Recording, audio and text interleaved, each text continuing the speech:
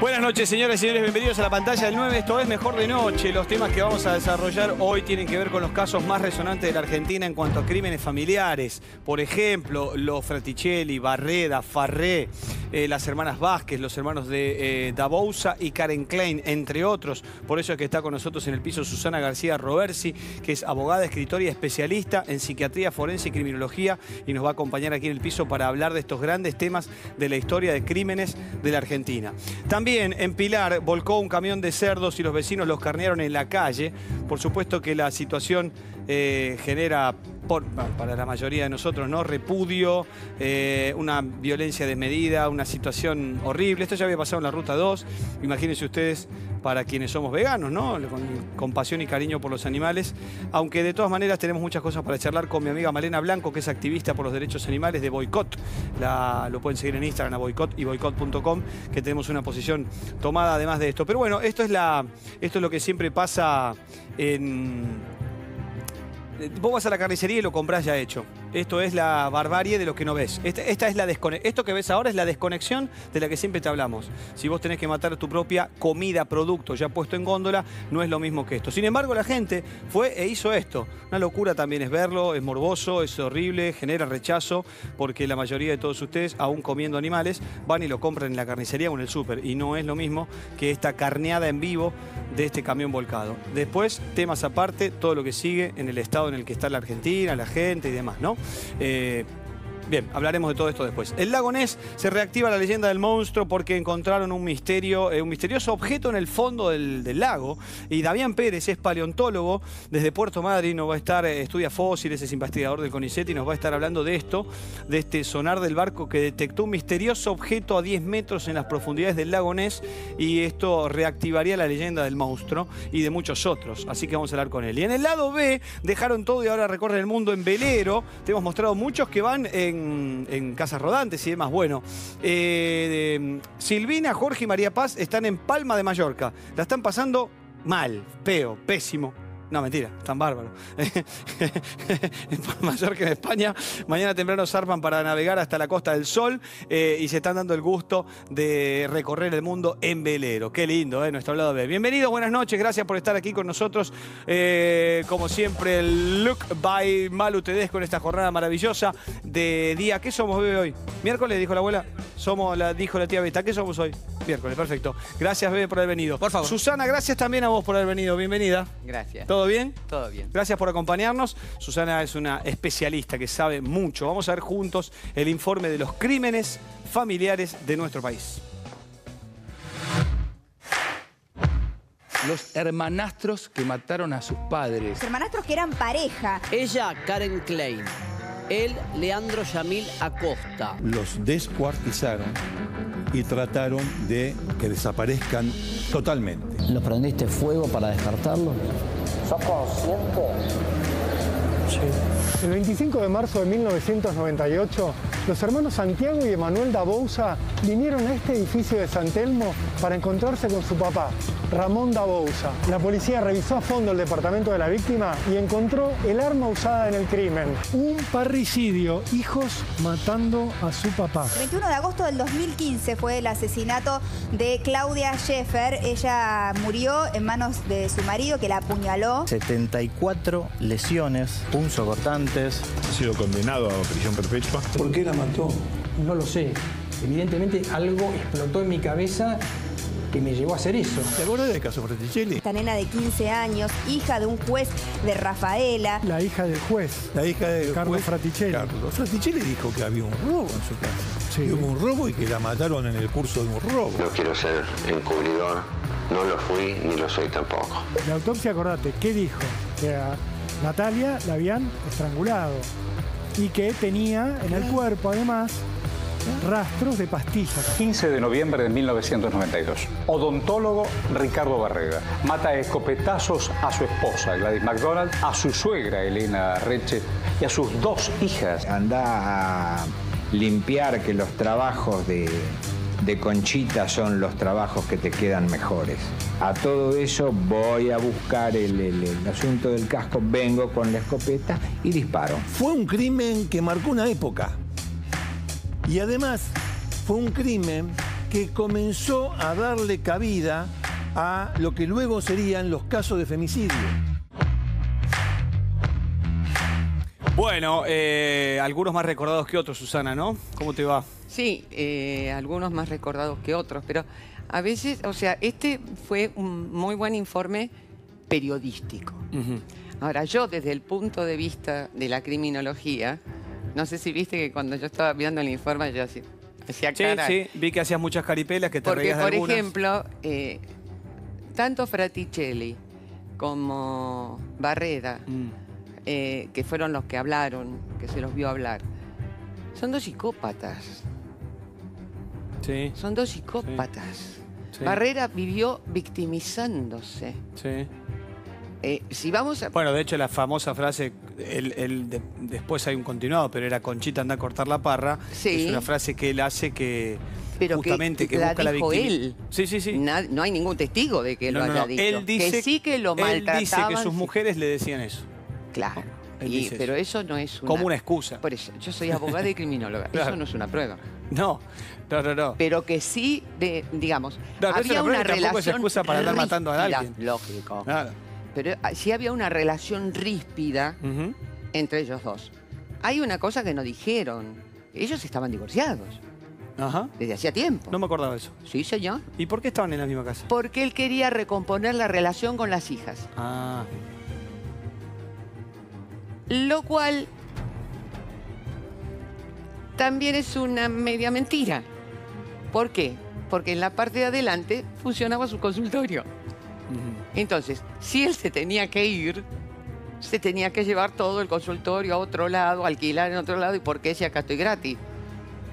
¿Por qué te parece que, mm, por, por ahí te es una mirada de más de lo que haces vos, pero lo que, lo que ya sería puesto en, en periodísticamente para que la gente lo reciba, ¿por qué, te crees que la- ¿por qué crees que las historias de crímenes familiares, adem- que- por qué componentes tienen que captan tanto la atención? En el caso de los dos mencionados dijiste son dos psicópatas, pero ¿qué más hay que a la gente le capta? Y es un sentimiento moral. Eh, eh, ahí ya, eh, a ver, que Barreda haya matado a su esposa o a su ex esposa, a su suegra y a sus dos hijas, no hay ninguna diferencia con fulanito de tal que mató a fulano, mengano y sultano y perengano que eran vecinos. O sea, es un homicidio cuádruple. Sí. ¿Qué es lo que lo hace más? El agravado por el vínculo. Claro. Matás a alguien de tu propia, de tu propia sangre. Claro. Aunque voy a decir una frase que todo, cuando la digo, y hasta, hasta mis alumnos se volvían locos, el cónyuge no es pariente. Mm, El cónyuge no es pariente. No. Parientes son tus hijos Sí. y tu de, padre. sangre, de sangre directa. Exactamente. Sí. Tú, el co- si- si de- desde el momento que existe el divorcio, no es pariente. Sí, sí, sí, está bien. ¿Está claro? Sí, sí. Entonces, digamos que el homicidio del cónyuge es diferente Al de un al hijo. homicidio de las hijas. Sí. O en otros casos, como los hermanos de Bausa, para pasar a otros, de eh, los de Bausa son que. Da Bouza. Da Bausa, Da perdón, volvieron y mataron a sus padres. Eso es el Claro. departamento de San Telmo. Exactamente, pero ¿qué pasa con los hermanos Dabouza? ¿Qué pasa? Yo tuve el, el... Va, yo no, pero conocí a una persona que lo conocía a Ramón Dabouza personalmente. Ujú, Es más, habían sido compañeros del colegio. ujú. Y me dijo que era un tipo muy pedante, que era un tipo muy sobrador, que era un tipo muy maltratador y que dejó el colegio para casarse y tener estos dos hijos a los que nunca les dio bolilla, terminó separándose. Este, fue funcionario de una empresa importantísima acá en la Argentina. Yo, yo no me Fue acuerdo bien. funcionario de Alfonsín también. Ah, la historia de los da Bausa, ellos, digamos, lo odiaban a su padre al, al punto de, de Ellos terminar dicen que matándolo fue por, por, el por, por los maltratos. a ellos. Sí. Ajá. O sea, la, la excusa más vieja que el hilo negro. ¿Por qué? Ya lo habían dicho los Joclender Sí. tiempo atrás. También lo dijeron los Menéndez en pleno Beverly Hills, Sí. cuando mataron al padre y a la madre.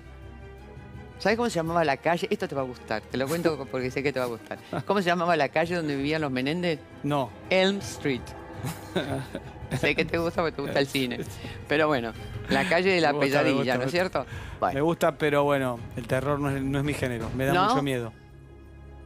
No me mires así, me da mucho miedo. Me escondo atrás del pochoclo. Me da mucho miedo, no, la- no las puedo ver. la- la- no, no puedo, no al ci- Voy al cine a otra cosa. Yo no voy a que me dé miedo. Empiezo a mirar para los costados, va a aparecer el payaso de la payasa de It. Me pongo mal. Disculpa que te lo diga, es un paréntesis. Sí, no me gusta el terror. Además, algún terror mal hecho me causa gracia. Es, Ah, bueno, es eso estúpido. sí. Eso sí. Es estúpido. Eso me gusta sí. la. Ya yo veo la, ma- la maquita vacía. Que se mueve sola sin niño. Ay, el ya no cagazo que me pego. No, Susana, por Claro, Dios, te claro, pido. me imagino. Sí. Bueno, volvamos Bueno, a lo volvamos al tema. Soy muy Entonces, cabo. el volvamos tema a de- lo nuestro, que no sé qué era, pero volvamos a lo nuestro. No, el caso de los hermanos Ajá. que matan a los padres. En este caso, bueno, los Joclender mataron padre y madre, los Menéndez mataron padre y madre, y lo estoy hablando cronológicamente, y estos solo mataron al padre. Sí. Ellos adujeron que era por los malos tratos, que fueron corroborados por varios testigos que vieron de que el tipo era Sí, sí, maltratador verbal. Muy mal padre. eh, pero maltratador verbal con todo el mundo. Sí, bueno. pero Más con los hijos, imagina que, que los tenés cerca. Tengo una pregunta con respecto a eso después. Pero además hay otra cosa que es muy importante, pero los tres tienen un componente que los une también, que es la codicia. La codicia. Y- Porque si mi mamá o mi papá me maltrata, ¿para qué lo vas a ver? Para pedirle plata. mm. ¿Y eran había mucho dinero atrás en esas historias? en todas las de. En las tres. en las de. Las tres que te nombré. Los tre- los dos- los- las, las tres parejas de hermanos. Sí, todas con mucho dinero con en el medio muchísimo familiar. dinero. O sea, es eh, para que- darte una idea, es como el contexto es siempre el mismo. Padres que se hacen de muy abajo, que s- son humildes, que Sí. más se casan y no tienen nada, y que de repente empiezan a ascender porque, bueno, consiguen trabajo, porque ganan más plata, eh, empiezan a llevar otro tipo de vida, empiezan a tener otras cosas, y los hijos pretenden, lo cual es lógico, tener el mismo nivel de vida que los padres. Y en los tres casos, los padres, ¿qué hacían? Les exigían, no, pará, yo te doy lo que te pero también trabajá, Claro, no que te tiene que venir arriba. claro. Entonces- Pero no con una manera de educando bien, sino No, hostigando, no, sino exigiendo, hostigando, exigiendo. exactamente. Ahora, eh, la pregunta es la siguiente. No me resulta raro si uno dice, uy, ¿cómo los hijos mataron a los padres? No, no, no me resulta peor mal que, que el padre o la madre maltratando a sus propios hijos, haciéndole la vida imposible de chicos, humillándolos a más no poder. No me parece, me parece trágico. Pero no me parece descabellado el desenlace de que los hijos terminen matando a los padres, porque nada te puede hacer peor que una peor familia, que una mala familia, directa, como dijiste vos, de sangre. No. Me parece espantoso el Por grado de humillación al que pueden llegar. Por eso te estaba diciendo que muchas veces el periodismo te da la noticia cruda, ¿no Sí, es cierto? Los sus parricidios, lo descuartizaron, lo esto, lo el otro. Pero ¿Qué pasó el antes? criminólogo, precisamente, ¿qué pasó antes? Claro. ¿Cómo viene esto? ¿De dónde viene? O sea, ¿por qué llegó a ser cadáver? Claro. ¿Qué hizo para ser cadáver? Eso no significa ni que lo esculpemos, ni que lo justifiquemos, ni que lo salvemos de la pena que les corresponde por haber matado al padre. No, pero nos sirve para entender. Claro. Claro. Eh, ¿Viste el caso, de, el caso de Farré? Bueno, es el de las puñaladas a su, Fue terrible a ese su pareja. caso, Eso ya- ahora estamos hablando de otra cosa. Hablamos de varios hermanos, hablamos de Barreda y de los Fraticelli. Ahora, Creo lo que, no estuve de acuerdo con, con el informe, ver, ¿con no quién? sé quién fue que lo dijo, que fue, eh, el caso Barreda fue la apertura al femicidio. No, no. Femicidios en la Argentina, Miles antes de Barreda. a ver, yo cuando estaba en la radio toqué tres casos fundamentales. No, supongo que lo que han querido decir es que fue un Norma antes- Penjerec, no sé si te Supongo que lo que habrán querido decir es que fue un antes y un después en repercusión en los medios y en la sociedad como para tenerlo más presente. Quiero creer. que Y el caso de Oriel Bryan. No, no sé, pero Bueno, supongo que el de Barreda le habrá parecido al que lo dijo antes. Bueno, no importa. Por igual, eso, pero maneras. son apreciaciones que... Si querés, lo armamos de nuevo el informe y lo ponemos. No, Ah. lo que quiero... Total, el no, oráculo porque el que armó el informe usó El las oráculo, palabras el de oráculo. otro. Ah, sí, claro. O sea, no, puso no. a una persona que habló y dijo eso. Yo Claro. no estoy hablando contra el informe. No, te estoy jodiendo. Ah, bueno, gracias. Escuchá, Farré, puñaladas a su esposa, ataque de, Vos de sabés todo. que cuando yo leí el caso y empecé a ahondar en el caso, en un momento dado se me llenaron los ojos de lágrimas. Raro en mí. Cuando le- soy criminóloga, imagínate la cosa que veo. porque era un homicidio que podía haber sido evitado. Ajá. ¿Llorabas por ella? Sí. ¿Y cómo se podía haber evitado? Ella tenía una orden de restricción para con él. Ella la había pegado, ¿no? Eh, ella tenía una denuncia en violencia de género, tenía una perimetral, etcétera, etcétera. Eh, y ella lo que dice es quiero sacar, porque hace la división de bienes en el cual él se quedaba en el- la vivienda del country y ella se quedaba con la casa o el departamento o lo que sea en capital. Sí. Eso, esas eran las dos grandes divisiones. También había otro problema económico. Por eso dije también, el de hasta que la muerte no se pare, es una sentencia de muerte, ¿no? Este no va a ser ni el primero ni el último caso. Lo que pasa es que este fue tan flagrante y tan evitable que realmente da vergüenza. Pero se viola, se, mm, Se levanta la se violan perimetral. mucho las perimetrales. No, bueno, pero acá se levanta la perimetral. Sí, se viola. ¿Qué, qué hace? con El agresor, sí. Le pero el mostrás un papel. Tomá, mira. ¿Te no acuerdas el muevas. otro día lo- Te congelo. El agresor que sacó cagando a los cinco policías de Ensenada, ¿dónde fue? Que lo sacó corriendo él, después de Es violar que la... una orden perimetral orden sin una perimetral. tobillera no sirve para nada. Y claro, pues si no estás siempre atrás del tipo, además cuando, cuando te enteraste el tipo ya violó la, la restricción. Ya lo tenés al lado. Ya le está pegando de nuevo, o matándola. O ya lo tenés al lado. Y claro, eso es lo que pasó con Farré, ¿no? No, Farré, Ah, no. la abogada de ella, una de las abogadas del estudio, pide el levantamiento de la perimetral para que ella pueda ir a buscar las cosas. Primer error. Mm, ¿Por qué tiene que estar el presente? Con que estén sus abogados es suficiente. Suficiente. ¿Por qué tiene que estar él? Mm, no sé. Bueno, No tiene que estar. por eso te estoy diciendo, Sí. evitable. Claro. Bueno, había otro problema más, que es que él había cobrado una indemnización muy jugosa, porque lo habían echado de una empresa muy conocida de cosmética capilar. Había sido por maltrato a las mujeres lo habían echado. Ojito. Ojí. O sea que ya venimos 2 de a 0 venía misógeno. Sí, claro. de, de an- de Sí. antaño. Eh, la veíamos venir inevitable Bueno, con estas cosas que decís. Entonces, eh, levanta la perimetral y él está presente. Les dice, no, ustedes quédense afuera que yo controlo qué es lo que ella se lleva. No, no. ¿Cómo la voy a dejar sola si tiene una perimetral? Claro, Si ya le pegaste, claro. yo como abogada no me muevo de al lado de ella. Sí, sí, no. Y, y- Se van todos. y con custodia policial, te diría. Pero se también. van todos. Y ahí la. Él cierra la puerta, ya se había traído lo- todos los cuchillos de la cocina. 74 puñaladas. Yo vi las fotos, te puedo asegurar. No, increíble, increíble. No, no. No. Increíble. Ahí lloraste. no. Cuando lo vi no lo podía creer. Le destrozó, no le quedó nada de la cara. Con eso te digo todo. De la cara no le quedó nada. Es- ahí ves la furia, la misoginia, la ira. ¿Entendés? O sea, ya Todo es- eso, to- por eso me dijiste vos recién, ¿por qué especialista en psiquiatría forense? Porque es lo que veo. me imita como... Porque antes de empezar el programa me cagó a pedo. Me dijo, no me presentes como psiquiatra forense. Pero pará, le digo, el cartel ya está así. No, soy especialista en psiquiatría forense y criminología. Y me salió bien, te presenté Sí, bien. sí, te faltó y pero no te criminalística, pero no Sí, importa. pero no te hice la cara que decís vos, que te- no te hice así. No, no me marea, o sea, no me burles cuando no hice esa cara. Susana, gracias por haber venido. Sí, ha, sido, ha sido un golazo tenerte para entender un poco desde el otro lado de lo Claro, que es que eso es lo interesante. Entender un poco. Entender.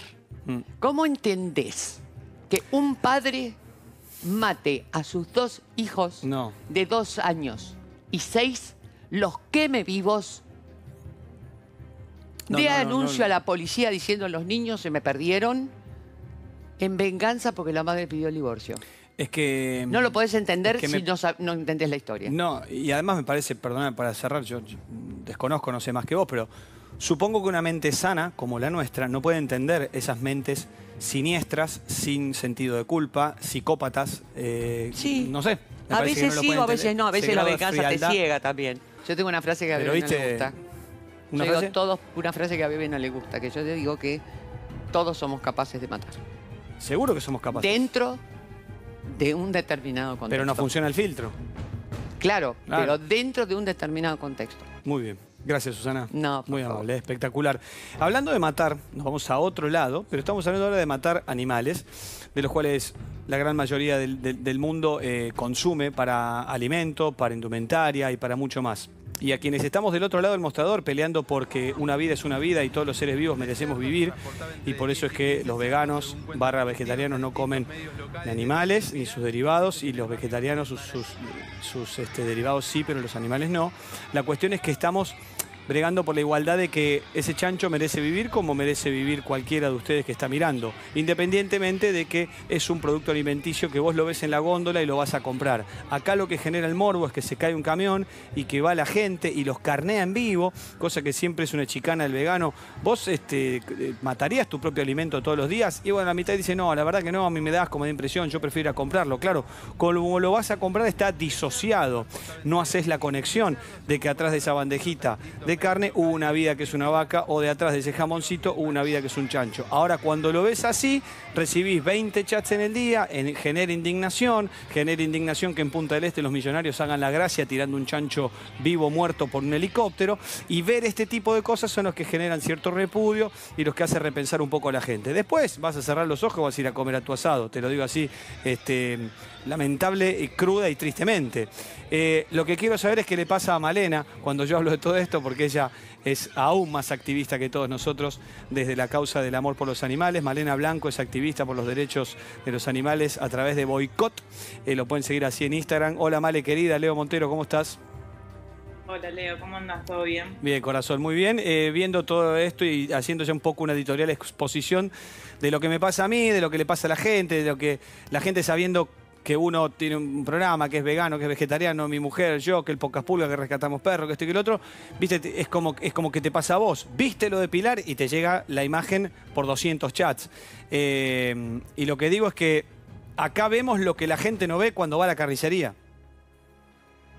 Exacto, digo, lo que pasó en realidad mataron a los animales eh, en vía pública de la misma manera que se los mata dentro de los mataderos. Lo que pasa es que estamos disociados, hay una disonancia cognitiva que no nos permite entender que ese pedazo de carne que tenemos frente al plato y que elegimos comer es justamente eh, el cadáver de un animal que todos querían vivir, digamos, no, no vas a ver un animal que, que quiera entregarse a la muerte, ¿no? Digamos, estamos completamente educados sobre un sistema especista, ¿no? Que discrimina por especie, hay unas especies que valen más, otras menos, así como los gatos o los perros valen más que los cerdos y las gallinas, y nosotros, que también somos animales, valemos más que todos los demás. Entonces es una escena horrible, lo que pasó fue espantoso. Digo, no es la primera vez que pasa, lo bueno es que los medios de comunicación, y así como, bueno, ahora ustedes están llevando este tema acá a la televisión, que me parece como fundamental empezar a, mostrar qué es lo que pasa dentro de los mataderos. Digo, esto no, no es una escena eh, que sea extraña, no es una escena eh, de una vez, digamos, matamos 4.000 animales por segundo sin contar a los peces que se cuentan por toneladas. Y lo que se ve y lo que se vio, y eso que es horrible, ¿no? Contaban los vecinos también como golpeaban con machazos eh, en la cabeza a los animales, que los perseguían, digo, los cerdos son seres súper, súper, súper sociables, tenemos un montón de, de similitudes con los cerdos, de por sí hay investigaciones que crean órganos humanos dentro de cerdos para hacer trasplantes para humanos, digo, tenemos un montón de similitudes, entonces escucharlos gritar, eh, verlos correr ¿no? Eh, por su vida, la verdad que es, es, es algo espantoso, pero es lo que pasa, tenemos Sí. que entender que esto es lo que pasa para que el plato de carne esté frente a nosotros. Sí, esta disociación de esto. eh, Este es el espanto que es a puertas cerradas. Por eso la famosa frase de Paul McCartney, si los frigoríficos tuviesen este, paredes de vidrio, la mitad sería vegetariano. Si vos ves cómo, si vos ves cómo lo hacen, si vos ves cómo los matan, si ves el sufrimiento, si lo tenés que matar vos. La gente que fue y los mató no pensó nada de esto, ¿eh? Habrá dicho, bueno, en vez de ir a la carnicería, hoy lo mato yo, tuve suerte, cayó un camión y me voy. Es en lo que me parece que culturalmente hay que educar más, que te podés alimentar de otra manera, que tenés que comprender que es otra vida, que el planeta se está haciendo pelota por justamente criar animales en, grandísima parte, destruyendo selvas, generando soja para que coman los animales que después te los tenés que comer vos, y un montón de cosas espantosas. Pero claro, como esto pasa puertas adentro, y acá mataron a 15 que cayeron de un camión, mueren chanchos industrialmente puestos así en filita todo el tiempo, pero de a, no sé, de a 2.000, 3.000, 4.000 por hora en las industrias de esto. Sí, sí, son 4.000 animales por segundo y de por sí ponele uno de los mataderos más grandes que hay acá en Argentina de cerdos, que que es el de Gorina, mata a 6.000 por día, ¿no? Entonces, son números que... lo que pasa es que no lo vemos, ¿vale? Claro, no lo vemos, no lo vemos, no empatizamos porque no lo vemos. Y aparte es mucho más fácil eh, eh, destruir, matar u oprimir a lo que uno no conoce, ¿no? Entonces, nosotros estamos completamente disociados de que lo que comemos son animales con sistema nervioso central, que sienten dolor, que sienten placer, y como decís vos, que la ganadería no es solamente esto, esto no es un tema solamente de animalitos, de que uno es sensible a los animalitos, digo, estamos destruyendo el mundo, entrando en la sexta extinción masiva a cargo de nuestra especie, con incendios por toda la Argentina, que son producto de la expansión de la frontera agropecuaria, ¿no? Que, que, eso también es importante, y con una idea, un proyecto de gobierno que quiere traer las megagranjas factorías de cerdos a la Argentina para alimentar a la población china, cuando el 80% de la soja que se cosecha en Argentina está destinada también a alimentar al ganado. Entonces, digo, estamos destruyendo el mundo, que es el lugar nuestro, ¿no? Somos, Nosotros somos parte de la trama de la vida. En nuestra estamos destruyendo la trama de la vida y es como que es tan absurdo, ¿no? Es muy absurdo, pero bueno, eh, mira, nosotros también hemos hablado del, convenio con China acá, hemos hablado con Sole eh, y hemos hablado, hemos puesto el informe, hemos firmado. Eh, por momentos siento que estamos perdidos. A mí me gusta en televisión poder decir esto y por momentos siento que estamos perdidos sin dejar de luchar, porque siento que estas imágenes me llevan como una cosa muy primitiva y siento que es una involución. Siento que hay una parte que no está educada, que es una involución, que no entiende. No, Viste, está el otro costado y dice, no sé, va a saltar alguno y dice, bueno, la gente está cagada de hambre. Sí, está bien, pero la gente está cagada de hambre es otra cosa. Esto, esto es la barbarie de la gente haciendo lo que hace otro profesional para matar esos 6.000 chanchos por día y vos vas al súper. Entonces así parece más cool y más ordenada la sociedad. En realidad es exactamente lo mismo, pero lo que yo, digamos, lo que haría hincapié es en que el mundo estaría mejor, la humanidad estaría más eh, menos cruel y más eh, piadosa, eh, estaríamos más saludables y el planeta estaría mejor y tendríamos un poco más de compasión por otro que quiere vivir igual que yo. Eso es lo que trato de hacerle entender siempre a los demás. Ante la respuesta que vos ya sabrás, ¿no? En cualquier lugar. ¡Eh, pero qué rico! Sí, está bien. Pero lo que te pareció rico a vos 15 minutos en tu paladar es la vida de otro. Y yo como otra cosa que también es rica. Eso es lo que... Entonces si les cuesta entender a la gente o eh, es más fácil mirar para otro lado. No, estamos construidos sobre eso, nos construyeron sobre la idea de que necesitamos comer animales para vivir, de que están en el mundo para nosotros, digamos, nos construyeron sobre eso. Entonces, cuestionar lo que comemos es cuestionarnos a nosotros mismos. Por eso, si hay algo que me parece por eso la culpa, es justamente cuestionar qué es lo que nos comemos, ¿no? Me parece, eso me parece una valentía total. Por eso la culpa, ¿no? Viste ¿No? que. ¿Cómo? No, digo que por eso la culpa, viste que la, la, gente te pasará que se siente como culpable cuando ves que ve que tu plato es vegano y te empiezan a preguntar por curiosidad y se empiezan como algunos a justificar, como diciendo, está bien lo que dice Leo, Male, pero en realidad me cuesta dejarlo. La puta madre, yo me comí un asado, pero está bien lo que dice, ¿no? Entonces ahí empieza el primer cuestionamiento personal. Claro, a ver, cuando alguien va a un, a un asado o una comida, ¿no? Con amigues y, y llevas tu plato de comida vegana y te ven comer y te empiezan a burlar o algo, no es en realidad contra uno, es sobre la posibilidad que vos estás mostrando, digamos, se puede vivir sin comer animales, claramente se puede. Entonces somos las, las personas ¿no? Que, que, no consumimos animales y que nos cuestionamos esto, somos quienes hacemos la demostración de que se puede vivir perfectamente sin comer animales. Entonces, eso es lo que molesta. Molesta eh, demostrar que está esa posibilidad, molesta entender que está esa posibilidad, porque no es algo fácil cuestionar quiénes somos, qué, qué, nos construyó. Cuestionar lo que se come es cuestionar la familia, cuestionar la carrera que elegiste, cuestionar los amigos que tenés. No, no, no es, no es fácil cuestionar lo que, lo que comemos porque es lo que nos construye. Sí. Entonces me parece que es un gran ejercicio ver esto y entender que así uh -huh. como esta gente mató a los animales ahí en, en, y, y, lo vimos y los escuchamos gritar, esto pasa todo el tiempo, digamos, todo el tiempo, digo. Y la gente va y cuando los compras en las góndolas y en los supermercados todos limpios, ¿no? Y, y, y con todas las publicidades que vemos en la televisión y, sí, y un montón sí. hasta de, de, de, instituciones diciendo que necesitas comer animales cuando claramente no necesitamos comer sí. animales para vivir y claramente no hay nada peor que comer animales hoy por hoy. No hay nada peor, pero no solamente por lo que metemos en nuestro cuerpo, los demás animales son los principales consumidores de antibióticos a nivel mundial. O sea, cuando consumís animales, estás consumiendo antibióticos. También ellos comen soja, soja transgénica. Cuando consumís animales, estás consumiendo toda esa soja transgénica también. Y, y si, y si hablamos de, de- de las energías y todo eso, digamos, el dolor, digamos, estás consumiendo Sí. animales que a lo largo de la historia han sido vapuleados, han sido oprimidos, han sido violentados, ¿no? Animales que murieron con miedo, no es que es alguien que va a cazar un animal, digo, no tiene esto no tiene nada que ver con cazar y esta gente no tiene nada que ver con cazar tampoco, ¿no? Esto es parte de un producto de un sistema capitalista y atroz que nos ha enseñado que necesitamos comer animales cuando es justamente todo lo contrario. Sí.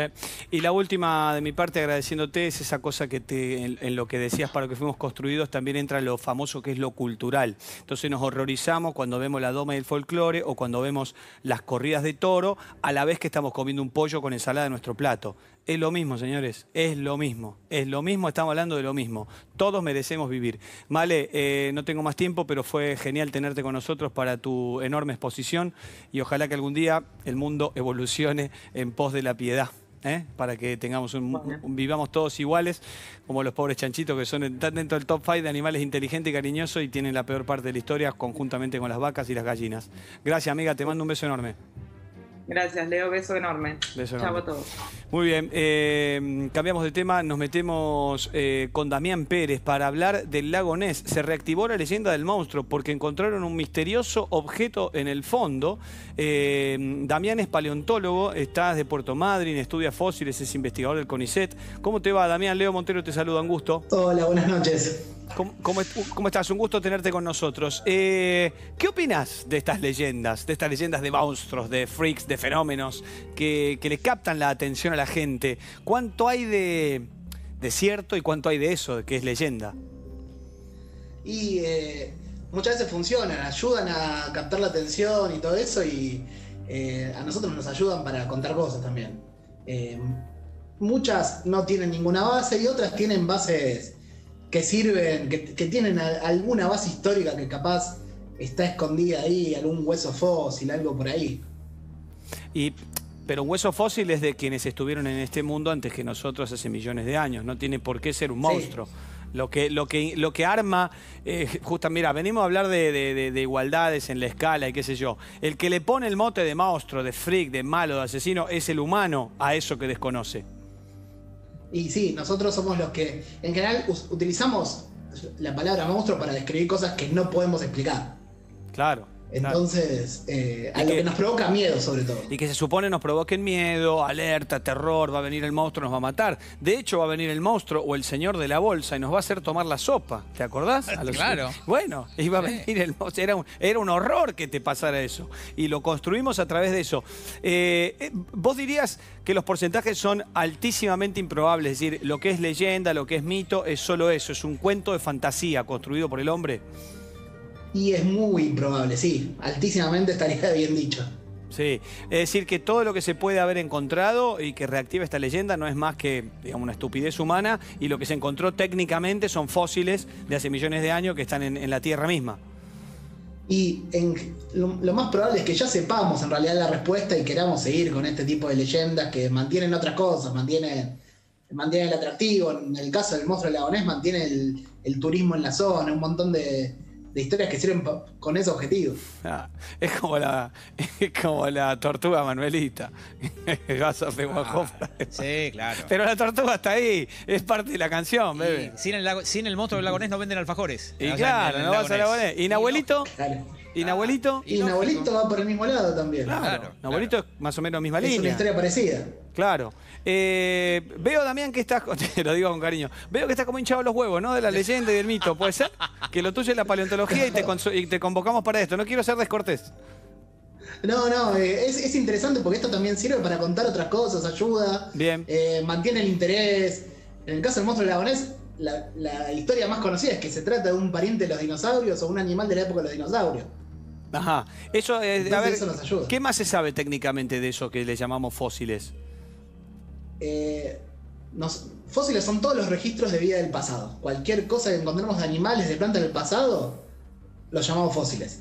Ajá. En el caso de este monstruo, es algo histórico que se lo relacionó con posibles animales de la época de los dinosaurios con un grupo que llaman plesiosaurios, que son recontra comunes en. son se han encontrado muchísimos en Gran Bretaña. Y no, no es raro que también en el lago Nesparta, ahí en la isla de Gran Bretaña, tenga.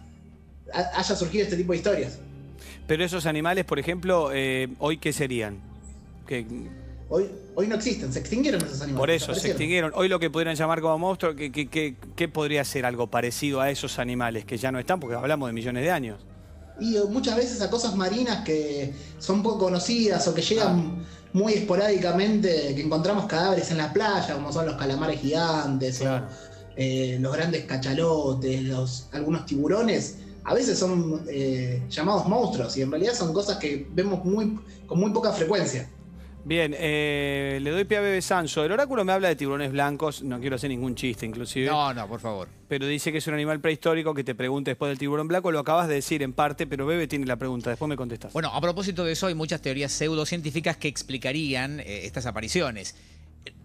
Yendo a lo puntual, ¿qué chances hay de que efectivamente sea un único sobreviviente de una raza extinta? Que es otra de las cosas que siempre se ha dicho o se ha especulado. En el caso del monstruo lagonés, las, las chances son bajísimas.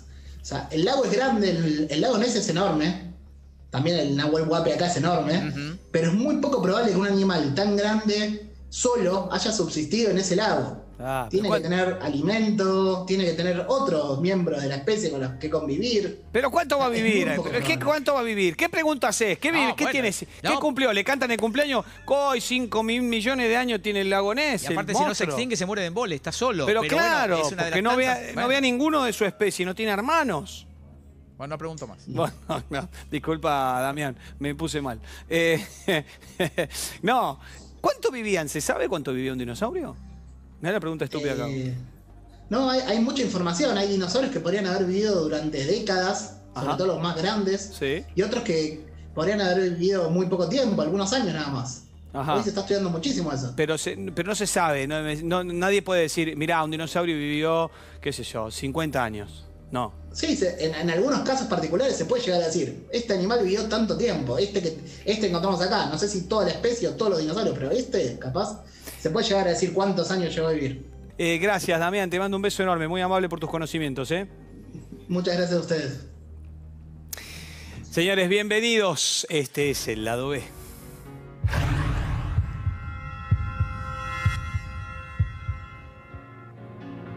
Vamos a conectar en este lado B con Silvina y Jorge, que están con María Paz, que está durmiendo en este momento, y son quienes dejaron todo para agarrar el velero y tomársela. En este momento en Palma de Mallorca, chicos, ¿cómo les va? Buenas noches. Aquí Leo Montero, ¿qué tal? Hola Leo, ¿qué tal? Buenas noches. ¿Qué tal, Leo? ¿Cómo estás? Un gusto saludarlos y conocernos. Eh, cuenten ustedes eh, el lado B, porque siempre me gusta que los protagonistas mismos arranquen diciendo, me pasó o hice tal o cual cosa. ¿Cómo fue la decisión de llegar acá? Bueno, básicamente yo trabajé 28 años en el mundo corporativo y después de trabajar 15 horas por día y de dejar la infancia de mis hijos eh, sin poder estar con ellos el tiempo que quería, eh, decidimos que íbamos a ir en busca de un proyecto de vida con mejor calidad. Básicamente fue eso. Y le dijiste, sentime Jorge, ¿por qué no agarramos un velero y nos vamos a Europa? Así nomás. Así, una boludez. ¿No? Y Jorge dijo, bueno, dale, pará. Pará, pará que lo, pará que lo chequeo. ¿no? Fue así. Algo así. Ponele. Ponele. Bueno, pará, Jorge, contame tu parte. A ver, dentro de esta conformación, de esta pareja hermosa, ¿vos eh, sos el que maneja el velero hace mil millones de años? ¿Siempre tuviste esa conexión? Sí, no tanto como eso, pero casi 20 años. Ajá. Y sí, hace 20 años que me dedico a la, la náutica profesional. Y hace 5, bueno, nos reencontramos y decidimos navegar en familia. Bien. Eh, me imagino que la gente te preguntará siempre, eh, pero no tenés miedo, no te puede pasar algo, decís que sos un profesional, sabes perfectamente todo, no vas a hacer locuras ni demás con tu familia, es, co- es como un paseo y demás, ¿no? Pero digo, ¿qué recaudos tuviste que tomar extras o ninguno? Los lugares por donde van son espectaculares para navegar. No, la verdad es que sí, cuando uno hace algo que sabe y ya tenés una experiencia, los riesgos van, van disminuyendo, pero nunca llegan a cero, obviamente. Entonces hay que tomar cuidados y precauciones. y más si vas con, con una nena de 8, 9, 12 años. Eh, así que nada, eh, hemos tomado los cuidados del caso y hasta ahora venimos bien, nunca nos pasó nada, nada ningún problema serio. Pero tengo entendido, Silvina, que hubo una tormentita ahí media fulera, ¿no? Sí, la verdad es que dimos como más de media vuelta al mundo. Eh, la- nunca nos habíamos subido a un barco, María Paz y yo, antes de subirnos a esta aventura personal que, que fue esto de subirnos a bordo. Y desde ya que siempre navegamos con pronóstico, nunca hacemos navegaciones que no tengan buen pronóstico. Y obviamente que hay algunos imprevistos. Nos hemos comido algunas tormentas, pero siempre confiando en, en la maniobra del capitán.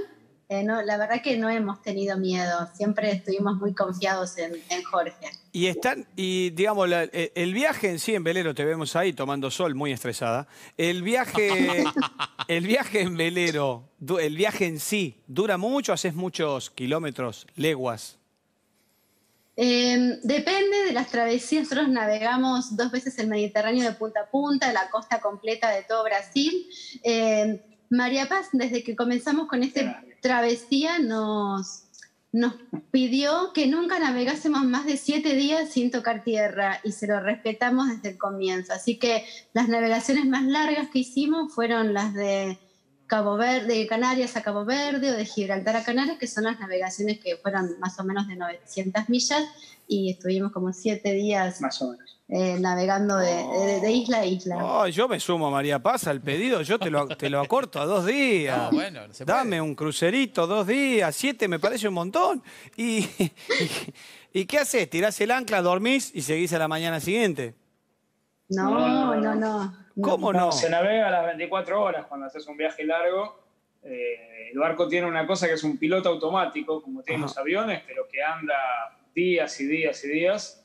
Y entonces se hacen guardias a la noche y se navega todo el tiempo. Mirá vos, ¿y qué vas solito? Y... ¿Pero vos te- los dos manejan?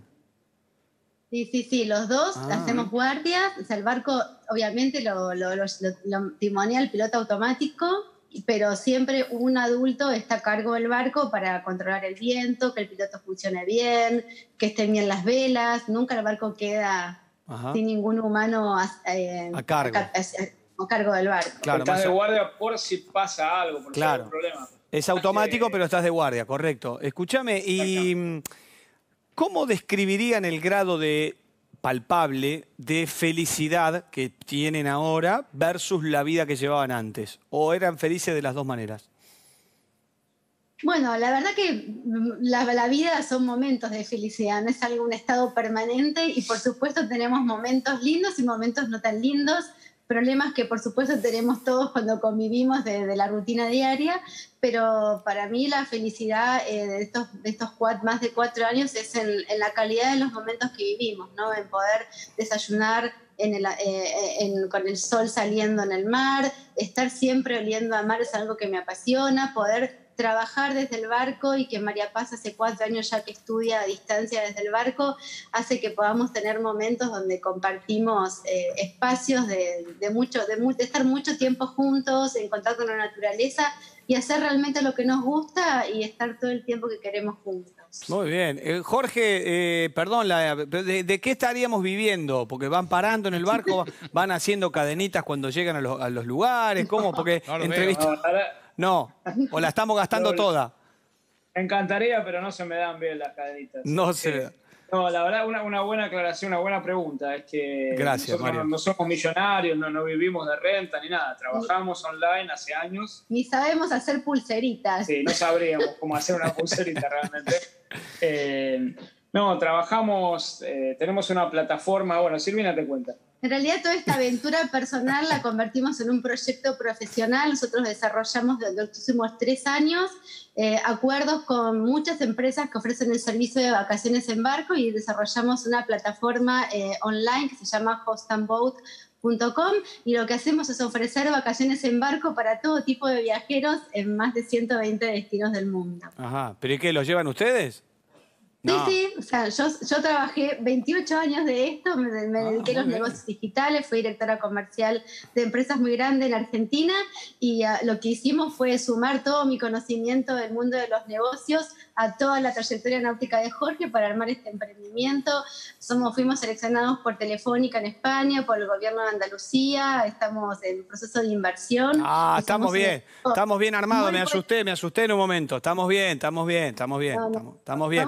Me- profesionales serios que nos dedicamos a esto para que todos tengan unas vacaciones a bordo espectaculares. Eh, Están trabajando para nosotros, Leo. Sí, sí, está sí, bien. sí. Tengo dos cosas para Jorge que le veo la cara. Claro, que una de la, una, no, no, muy cortita. Me gustó, Jorge, cuando dijiste, eh, Silvina te va a explicar. Eso me gustó. Como diciendo, del negocio se está encargando ella, yo tengo que tener el velero bien. Y la otra es, si Jorge, no sé, esa cosa de velero, las chicas, todo. Quiero bajar y un fulbito. ¿Entendés? Que, no sé si Jorge juega al fútbol, pero vamos a decir, quiero un, un tenis con un amigo. No basta de agua. No, no pasa nunca.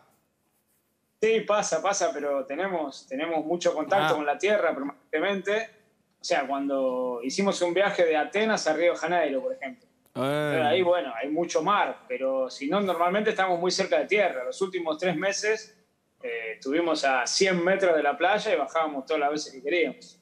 Bien. Me Y gusta La verdad es que no hubo poquito, pero hubo volei, tenis, Todo. en fin. Pero me gusta que nosotros vivimos en el mar, tuvimos a 100 metros de la playa, no estuvimos en la playa, a 100 metros. Tomá, esa, esa Bien, es la que te marca. Eh, bajábamos y veníamos, nadando. Chicos, les mando un beso enorme, me encantó la historia, les deseo, se los ve felices y les deseo que, que- que estén muy bien. Eh, mándenle un besito a María Paz, que ya está durmiendo, porque es tarde allá. Mañana se van para la Costa del Sol, ¿correcto? Hoy estamos Sí. en Palma de Mallorca y mañana temprano al alba partimos para la Costa del Sol. Mirá para, vos. para el sur. mirá Vamos vos. a ver el Bebe Salso vino de caballito y Sí. mañana va a las 100, a las Sí. 6 de la mañana. Se quiere, escucha esto y se la quiere dar, ¿sabes cómo? Ojo a la hora que salen, que se pone pesada Panamericana, Sí, eh, por favor, sí. les pido. Ojo, ojo, que lo que es Costa del Sol, tenete el peaje a mano, el, Sí, sí, el sí, pase. sí. Chicos, gracias, les mando un beso enorme a los dos, fuera de joda, muy amables. Gracias, Leo. Gracias a vos. Buenas noches, gracias. Divinos, Placer. gracias, divinos totales aquí en el lado B, muy bien. Bien amigos, estamos en el último bloque de esto que es mejor de noche. Se viene el Pocas Pulgas guion bajo C9 Bebe Sanso está con nosotros. Mi Sí, nombre sí. es Culer Connor. Gracias por acompañarnos. Te pedimos ayuda para este perrito que vas a ver ahora.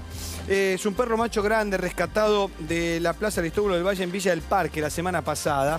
Es re bueno, educado, pide comida, cariño, todo. Eh, y si querés que lo abandonaron por su estado, tiene un bulto en el prepucio. Eh, el veterinario descartó que sea un tumor, pero dijo que debe ser operado porque mm, puede derivar en un tumor, en un tumor, ¿entendés? Eso lo mejor es operarlo a tiempo. El teléfono es del que está viendo en pantalla es de Ornella, que es quien lo tiene. Eh, necesitamos juntar entre todos como 30 mil pesos, vale la operación, lamentablemente para él. Eh, y que fue rescatado una plaza. O sea, ya la pasó mal y probablemente la hayan abandonado por este motivo. Pero es una vida que quiere vivir, hay que ayudarlo los que podemos y así será. Para poder colaborar con ellos, el teléfono de Ornella, el Instagram es orne-molly, así como te lo digo con una L, para ayudar a este bebé hermoso que necesita de nosotros. Hermoso, hermoso, hermoso. Entre estudios, operación, biopsia, bueno, van como 30 lucas, así que si lo podemos ayudar, bienvenido. Tenemos adopciones de Bruno y Rex, que vienen a continuación. Este es Bruno, mirá que lo que es esa caripela.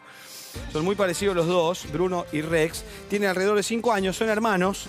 Hace mucho que están en un refugio. eh, y lo ideal es una adopción en conjunto, porque fueron abandonados en la puerta del refugio cuando eran muy chiquititos. Eh, él está con su hermanita, que por suerte ya fue adoptada. Eh, digamos, tenían, eran varios, quedaron Bruno y Rex, tenían una hermanita que ya fue adoptada, faltan Bruno y Rex. Son hermosos, buenos, juguetones, no se llevan con otros perros, pero son puro amor. ¿Para qué querés que se lleven con otros perros? Lo que queremos es que vos que no tenés, o que se te murió uno, digas, voy por dos, me agarro los hermanitos Bruno y Rex, que van a estar juntos, que la van a pasar bien. ¿Por qué ustedes se preguntarán, ay, Leonardo recomienda dos cuando pedimos uno? Porque si trabajas mucho, si no tenés tanto tiempo para pasarlo, para pasearlos, perdón, eh, entre dos se hacen compañía, están todo el tiempo en la casa, si tenés un patiecito, una terraza, un parquecito, juegan, eh, la pasan acompañados. Y además en este caso ya se criaron de cachorrito juntos, entonces sería una pena total eh, separarlos, que de hecho no es la idea, no es una opción. Que Bruno y Rex sean adoptados en conjunto. El teléfono es el de Andrea, 5991-9606. Tenemos a Malvino en adopción. A ver, ¿qué mal estoy hablando hoy? Malvino en adopción. Eh, este es Malvino que está en adopción. Fue rescatado en una plaza de, de Moreno. Eh, es hermoso, ¿eh? mirá qué bonito perro. Está en tránsito con un joven venezolano que en breve tiene que volver a su país, entonces no sabe qué hacer y dice, por favor, pocas pulgas, ayúdenme, y acá estamos. Es súper bueno, pasea con correa, se lleva bien con otros perros. La imagen lo dice todo. Malvino en adopción, hermoso perrazo. Divino, divino, divino. No sé qué edad tendrá, pero se lo ve como si tuviera unos 3, 4, 5 añitos. Un, adulto joven. Eh, así que ojalá que lo podamos eh, adoptar. Lili eh, es el teléfono que está en pantalla para adoptarlo. Lo tiene, reitero, en tránsito un chico venezolano que va a volver a su país. Que lo ¿eh? adopten o que lo adopten, si es que lo adopten o que lo adopten, claro. que no lo adoctrinen, que Claro. lo adopten. Gracias chicos, muy amable por todo el laburo que hace. La gente que hace tránsitos es clave en toda nuestra lucha con los animalitos de la calle. Eh, buscamos a Rafi, que es este que está en pantalla. Se perdió en Valentina Alcina. Salió corriendo cuando se abrió la puerta de calle de, de su hogar. Eh, esto ocurrió el 15 de septiembre. El teléfono en pantalla eh, es el de Daniela, al que está desesperadamente buscándolo. Eh, desconozco porque no dice si tenía eh, correa, chapita y mucho más. La verdad es que se lo ve en la foto con un collarcito, pero no sé si es una foto actual. Claro. A eso me refiero. Este, así que es una belleza, responde al nombre de Rafi, lo estamos buscando. 64668909 Daniela Bebe. Siempre les recordamos Sí. que miren el pocas pulgas-c9 o mi cuenta arroba soy Leo Montero y mdn-c9 porque en todos replicamos esta sección del pocas pulgas para que repases datos, sepas a quién llamar y cualquier cosa que quieras adoptar o que hayas visto un perrito eh, perdido o alguna situación de maltrato nos lo comuniques ahí. Y también, Bebito, ya que estoy en este momento, meteme el mail para las denuncias que todo el tiempo hacemos de maltrato animal porque es importante que nos lo manden por mail. El mail es Bien, muchas gracias, bebé. ¿Cómo laburaste? Eh, buscamos a la gatita Juli, que es la que está en pantalla en este momento. Este es Juli. Eh, se perdió el 19 de septiembre en las calles de Lugores y Beruti, en Morón Norte. Es una gatita tricolor. Eh, de unos dos años, tenía collar con identificación, como se ve en la foto, su mamá humana está desesperada, ya que es su única compañía. Los gatitos, el problema que tiene es que encima se te paren por arriba de los techos, las paredes, todo es más difícil de de- detectar, no están todo el tiempo en la calle, son escurridizos. Mirta es el contacto, ojalá podamos encontrar esta gatita que se llama Juli y que se perdió hace ya unos 20 días. Lamentablemente. Bueno, eh, y bienvenidos a nuestra sección Good News. Tenemos buenas noticias. ¿Se acuerdan del caso del criadero clandestino de bulldogs, de bulldogs ingleses que vivían en una terraza en Flores, que estaban todos pésimos, que era todo horrible? Bueno, fueron finalmente rescatados por la justicia y la gente Alerta Galgo hace cinco meses. Durante este tiempo eh, debieron ser sometidos a todo tipo de estudios, tratamientos, operaciones, etcétera, porque el estado era horrible. Eh, estamos hablando de Thor, de Shaka y de Pamela, que estabas viendo el antes y ahora vas a ver el después. Gracias a las familias de Violeta que cuida a Shaka, a la de Manu que cuida a Thor y a la de Graciela que cuida a Pamela hoy. Son sus familias adoptantes y estuvieron presentes desde el primer momento. Mirá el cambio de todos. Después de estar en un lugar eh, espantoso, como son la mayoría de los criaderos, donde solo les importa tomar tu dinero y no les importa eh, que el, el bienestar de la perrita que está pariendo y que queda preñada cada rato, y mucho menos de los cachorritos, mucho menos cómo duermen, si tienen una chapa, al intemperie, si dan de comer nada. Solo les importa hacerlas reproducir y vendértelos. ¿A cuánto? Uf, 20, 30, 40, 50 lucas para que vos te compres tu perrito de raza y vayas con los papeles del pedigree cuando tenemos un montón sin casa. No al perro de raza, adoptate uno de casa, porque realmente nos haces un favor. El hashtag es siempre no al maltrato animal, que esto es maltrato animal, los criaderos, y porque reitero, no les importa.